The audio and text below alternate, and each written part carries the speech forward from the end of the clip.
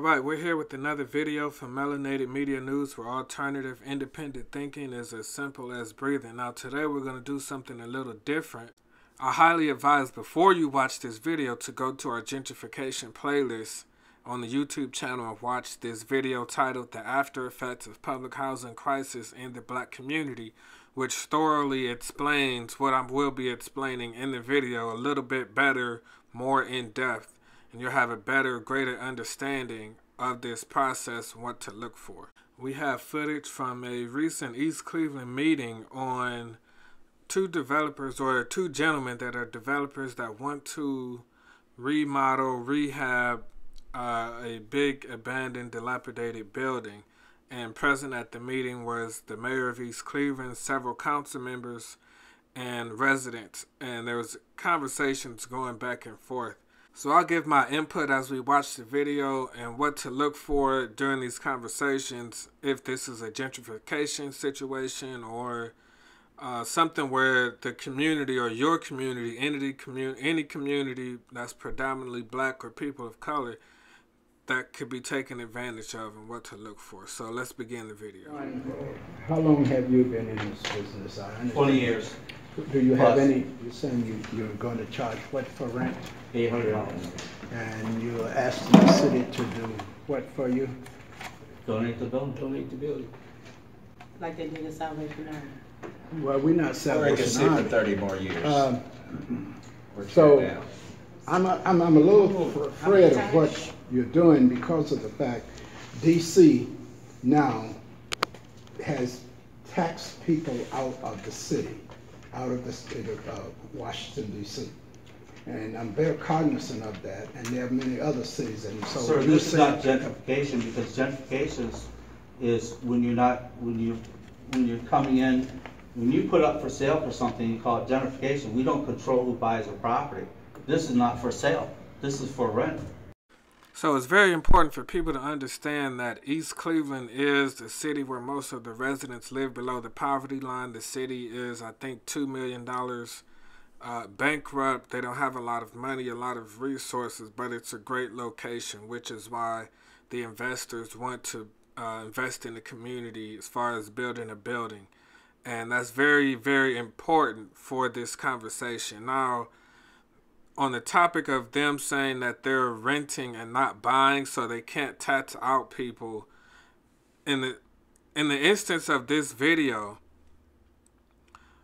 they may not raise the sales or different things like that because they're renting. Okay we understand that. But the key point of this video is is that they're going to tell you it's $800 if the majority of the community is living below the poverty line, they're not going to be able to afford that $800 rent.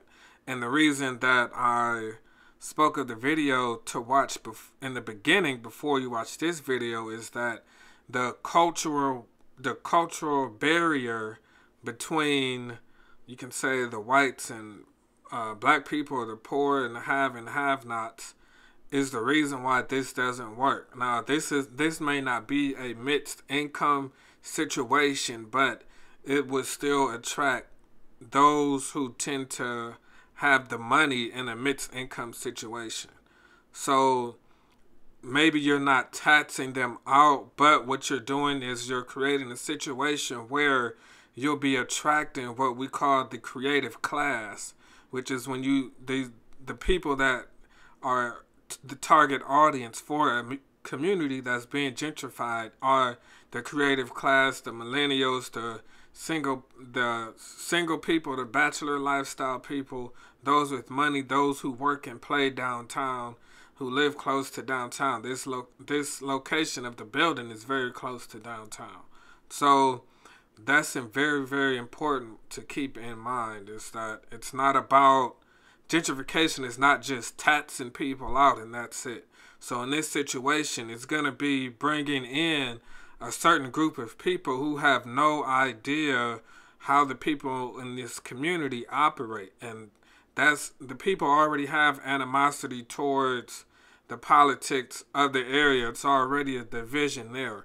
And when you bring the people, when you attract people who can afford this place, it'll just make more animosity. It'll make uh, more gas, you know, in the fire, so to speak, in this situation. So, yeah, and that wasn't really discussed, and that's why I'm doing these videos because it's not about just taxing the people. It's about attracting the people, and the people who eventually live there. They're gonna they're gonna be proactive. They're going to go to the meetings. They're gonna have police. All of this stuff is documented. It's it's been in studies for years since the 80s. It's in that video that I recommended in the beginning. There's lots of documents and studies that show that the mixed income does not work. Now, it's not a mixed income building if there's a set price, but the people who, who can afford it make more money probably than everyone else who lives in that city for the most part. So it'll be a mixed income within the city and the surrounding uh, streets because those people can't afford to live there. I understand that. That's what has caused the people in the, the It needs to be social. It needs to be a social project. If, if it's just a, if it's just you coming here to capitalize off of our chaos or Mhm. opportunize off of something, it's not gonna work. I don't care what you're here for. You, you, you have to really understand what you're getting yourself into. I mean, I heard you say you don't understand the red tape. Well, that's what you really gonna have to understand. It's a social, this is, this has to be social. He said that it's gonna be residential property for vets, correct? No, No, no, didn't. anybody, anybody wants to, to rent, the rental property. He never said Okay. He never said that. Well, the elderly, the elderly, the vets, and the, and the children, they come first in this community. I'm a vet. Okay, that's cool. I, I, hear me out. If it's not benefit, if it's not benefiting them, I don't want anything to do with it. We, we, we. Period. Right, We're trying to. Like he said with the taxes and all of that, like it has to go. We we suffering here. Mm-hmm. If you all gonna do anything here, we need parts of it. Now, whoever was just whoever was just speaking, that gentleman, he gets it. He understands it. It's if these people do not understand the so, social aspect, there's studies, as I said, that proves it does not work, and they're not going to attract the residents that live in East Cleveland. Essentially, what we have here is that it's a desperate city. They need revenue and we can't just jump at every opportunity and accept crumbs at the table and donate a humongous building for you know little to nothing little to no money these studies show that the neighbors they barely speak maybe four times out the year in these types of communities uh, they, the police are called on more often because they don't understand. They think, well, if black people are outside, they must be selling drugs. So if you have a situation where the community and people are already upset about the lack of opportunities, when you bring the people who can afford this rent, they're gonna look. There's gonna be so much animosity towards these people because, and in addition to that culture barrier in addition to so neither side is really going to understand each other and it's just going to create a hostile environment. So the senior citizens may not be afford the $800 rent on their fixed income and also as far as the younger people those with kids and single parent homes and you know section 8 housing we don't want to get into that situation either. That's just as bad maybe if not worse. So it's a very these situations the developers like he said they've been doing this 20 years and i'm not i'm not saying these guys are disingenuous.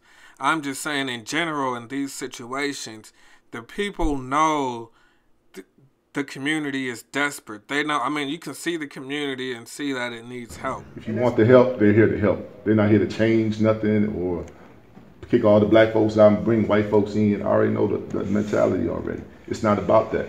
It's about taking these abandoned Okay, let's be clear. They're there to make money. They're not. They they may. I, I don't know about you. You saying they're not there to help. They're not. I mean, we know what happens ten times out of ten times in these situations, and we can't get into guilt tripping people for seeing how historically um, what has happened in these situations when people develop newer buildings in you know less than desirable communities but that have a great location. So we don't want to get into this whole uh, you should feel bad for being suspicious well why wouldn't you be suspicious if we see the situation we in and we see historically what happens you should be suspicious you should be cautious if you care about your home, if you care about your community. Not saying the gentleman that was just speaking doesn't. I'm just saying in general, in these situations, we should ask all the questions that we can, all especially the educated questions. Buildings, especially this one next to an elementary school and a high school. Let's fix these buildings up and give our city a, a good look. One thing about business, it's not emotional. There's no feelings in business. They're bringing money here to fix this fix this city up. I don't see I don't see nobody else doing that. But where's the help though?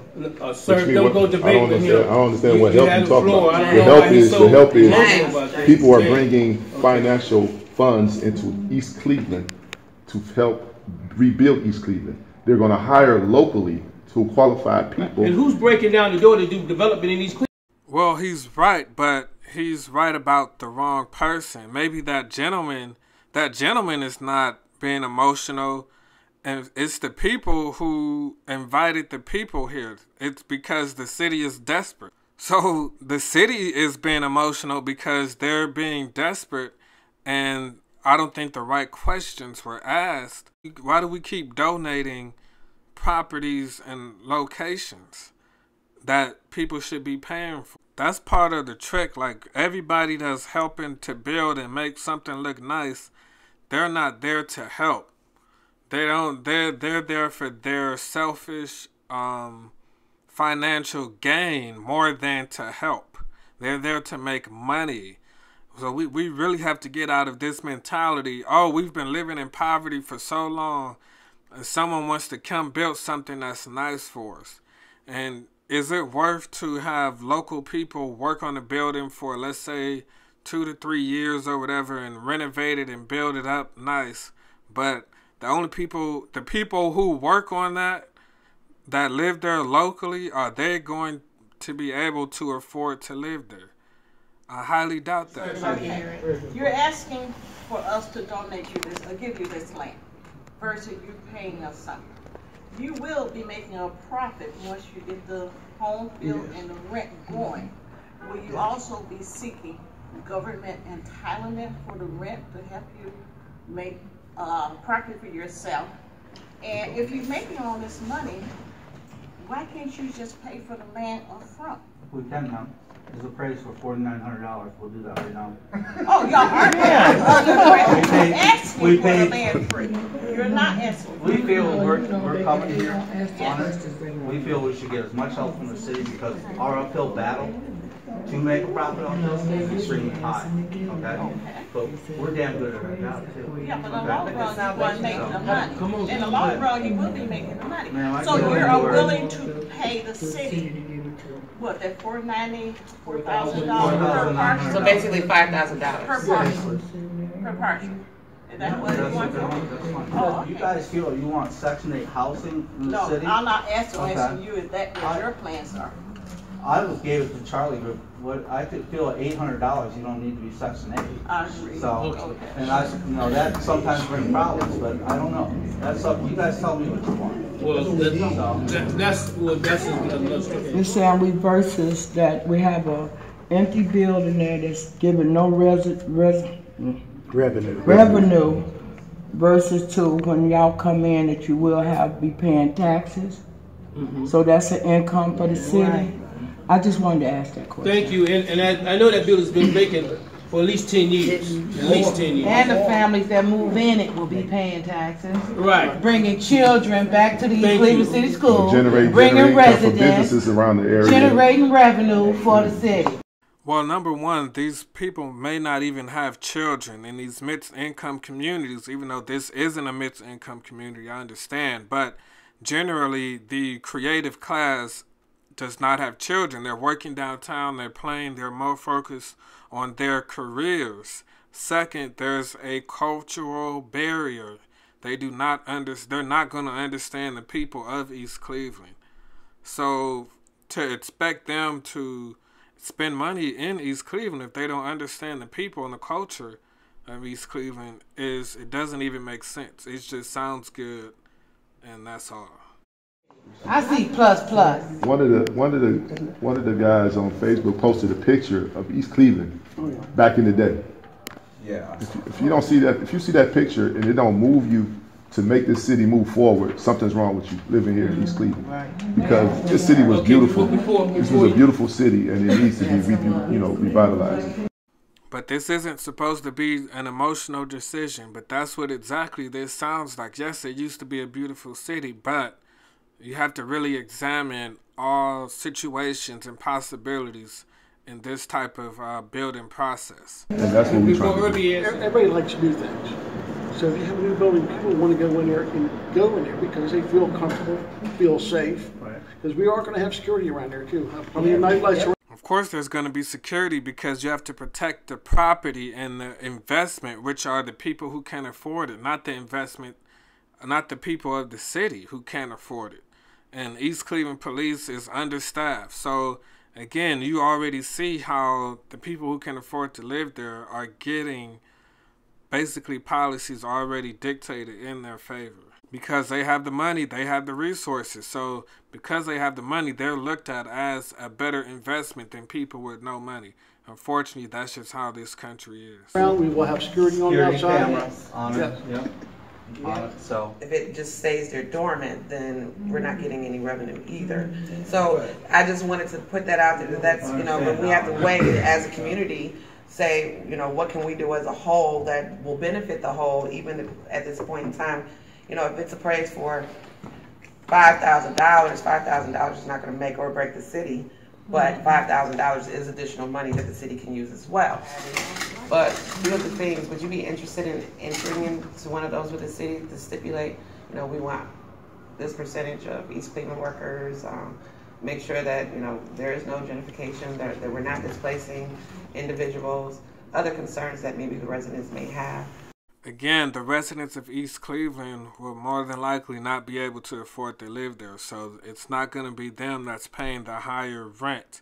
But the people who they're targeting, it's going to create a cultural divide. And as you see throughout this meeting, no one was really aware of that, or if they were, I didn't see anyone in this footage bring it up to the attention. And rent does go up every year for some people, so it's not like rent increase cannot displace people. So that is a possibility everywhere, not just in this situation also. So let's not, we can't pretend that that doesn't happen. Now, Nobody in here can pay no eight hundred dollars or twelve hundred dollars or whatever for rent.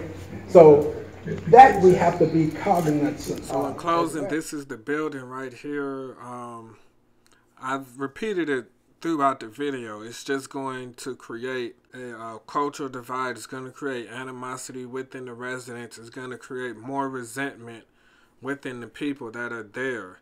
And that is um, part of the gent- gentrification is not just kicking people out, but also bringing people in to create, to give them opportunities more than the people who have been living there. So that's also a part of the gentrification process. So for a more in-depth real analysis on these situations, just watch the video recommended in the beginning and that will give you more data, more real life research, different examples, historic examples on these situations and how to be better prepared for these kinds of meetings and ask maybe tougher questions um, when you have these meetings. So stay tuned for more melanated media news.